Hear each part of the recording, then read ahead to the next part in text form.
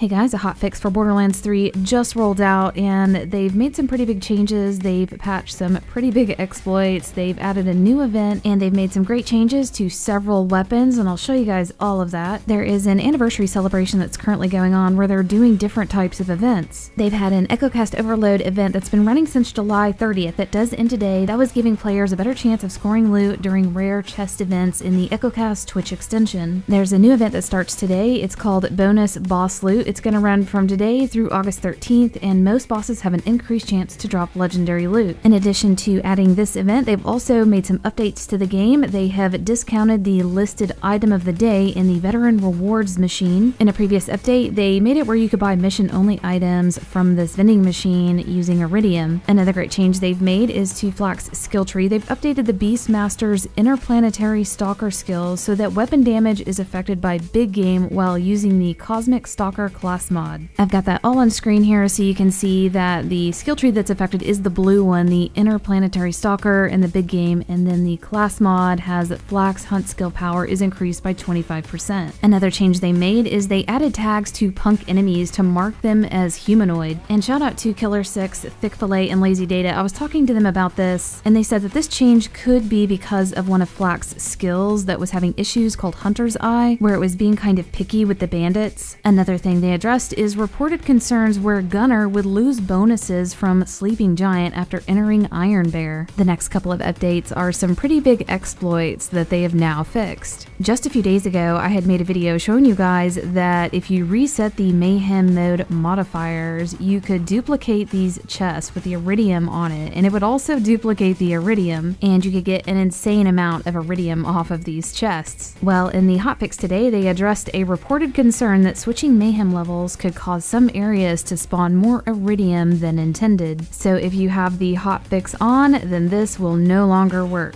Another pretty big exploit that they fixed were the infinite jabber spawns in the King Bobo arena. The update reads that they disabled the ability for enemy ads to spawn infinitely during the King Bobo fight. Once you kill King Bobo, he doesn't respawn for a while, but these jabbers jumping out of these huts are non-stop. Well, this is no longer working if you have the hotfix applied. The next thing I'm going to show you guys are some changes that they made to some of the weapons. They buffed a bunch of them. They said, We've seen significant improvements to performance after the adjustments made to projectile weapons in the previous patch. Today brings a set of changes to various pieces of gear that were negatively impacted by those necessary changes without sacrificing the stability of the game. We have also included a few buffs to other pieces of gear that we felt needed attention as well. They went in and buffed 17 legendary items and I'll show you guys all of them. I'm going to show you the before and after. The first one is the Jacobs AR lead sprinkler. They have increased the weapon damage on this. I've got the before on the left and then after the hotfix on the right and it went from 53.59 to 71.45 on the damage and that is a 133% increase. Also down in the bonus stats they took off the negative 26% weapon damage so they removed that but it still has the other stats. The next one they changed is the Brainstormer. They've increased the chance for projectiles to chain. None of the stats on the weapon itself had changed. They just increased the chaining ability and they also changed this for the reflux as well. The next one is the Hyperfocus. They increased the weapon damage. The one I had went from 3260 to 4075, which is a 125% increase. Also, the bonus stat weapon damage went from plus 47% to plus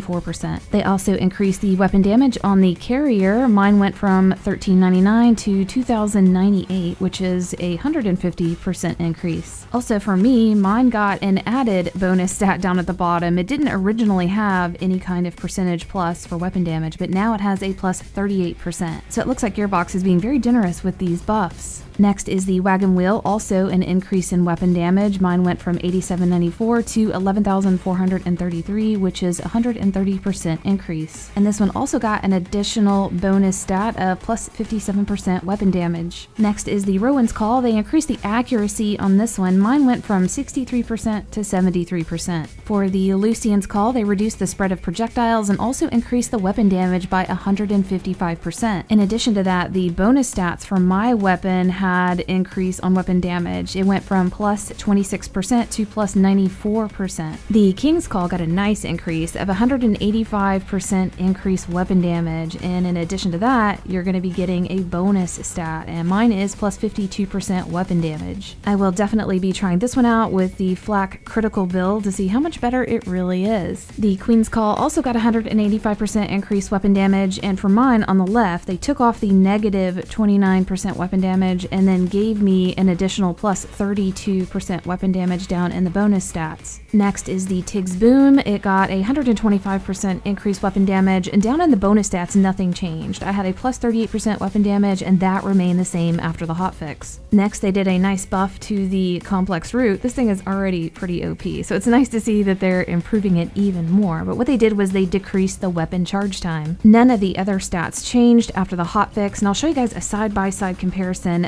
the charge time before and charge time after the hotfix. On the left is before the hotfix, and on the right is after. And you can see that there's maybe like half a second difference in the time that it charges up and fires. It doesn't look that significant here, but it really honestly felt pretty fast whenever I was in game firing it. The next weapon they buffed is the Moonfire. This got a 125% increase in rate of fire. Mine went from 1.68 seconds to 2.10 seconds. This weapon here did not receive any additional bonus stats down at the bottom, everything remained the same. Next is the Mongol, it got a 110% increased weapon damage, and for me, none of the bonus stats changed on this one, everything was the same after the hotfix. The Cutsman got an increased weapon damage of 116%, and for me, none of the bonus stats changed. There was no additional weapon damage in there. The next one is the Bearcat, and they said that they lowered the ammo cost from 4 to 3, but whenever I went to look, mine had actually gone from 4 to now 2, which is even better. And on top of that, and they didn't mention this in the patch notes, they increased the damage quite a bit on this one. The weapon damage and its elemental damage both went up by 237%. So that's a nice little surprise. I'm definitely gonna have to get in there and check this gun out. All the other stats remain the same and there's no additional weapon bonus damage down at the bottom. Next is the unseen threat. They've increased the damage of homing bullets with critical hits.